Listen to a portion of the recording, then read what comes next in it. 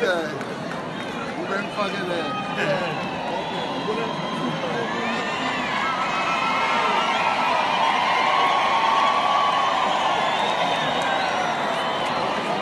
are making history. We are celebrating today the return of the land to our people in this area. This is history in the making.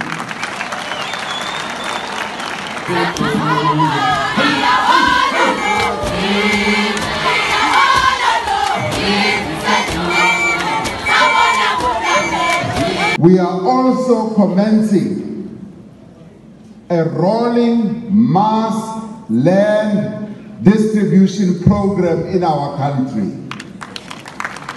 We are going to be returning land in a massive way. We had a combination of all these ministries talking to the people who own the land to make sure what if this is done orderly and giving land back to our people.